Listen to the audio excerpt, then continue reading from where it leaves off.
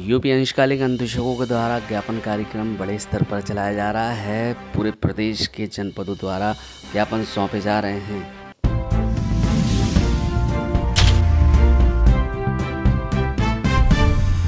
UP अंशकालिक निदेशक लगातार अपनी माओ को लेकर ज्ञापन अभियान में बढ़ चढ़ कर हिस्सा ले रहे हैं। पूरे प्रदेश से माननीय मुख्यमंत्री जी के लिए सांसद, विधायक, जनप्रतिनिधियों के द्वारा ज्ञापन भेजा जा रहा है। चित्रकूट से ज्ञापन दिया गया है। उत्तर प्रदेश के शिक्षा विभाग में कार्यरत अंशकालिक अन्वेषकों का जल्द से जल्द नियमितीकरण किया जाए और जब तक नियमितीकरण ना हो, तब तक उन्हें समान कार्य, समान वेतन दिया जाए।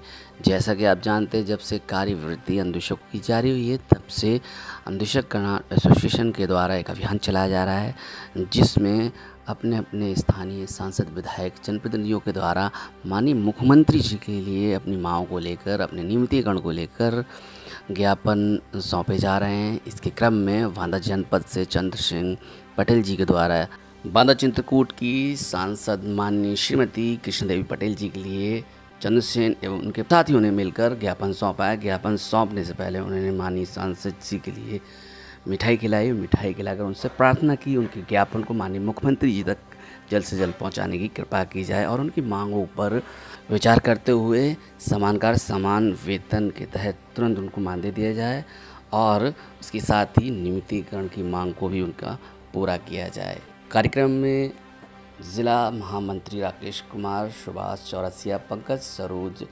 शील निधि संते, गुप्ता, अरविंद कुमार, दिनेश कुमार, कमल कुमार, महेंद्र यादव, राम सिंह, उमाशंकर, अवधेश, ललित किशोर ज्ञानेन्द्र प्रताप वसंत लाल हरिश्चंद्र यादव, विजय गुप्ता एवं परिषदीय अन्वेषक यहाँ एसोसिएशन के प्रदेश संगठन सचिव चंद्रसेन पटेल आदि उपस्थित रहे। उन्होंने अपनी मांग को लेकर ज्ञापन सौंपा।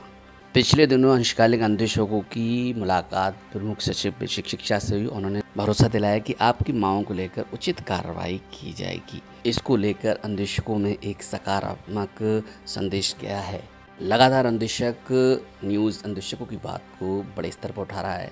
रिक्वेस्ट है चैनल को अवश्य सब्सक्राइब करें, लाइक, शेयर और कमेंट भी करते रहें। आप देख रहे थे अन्वेषक न्यूज़। जय हिंद, जय भारत फंद मातरम, सत्य में जयते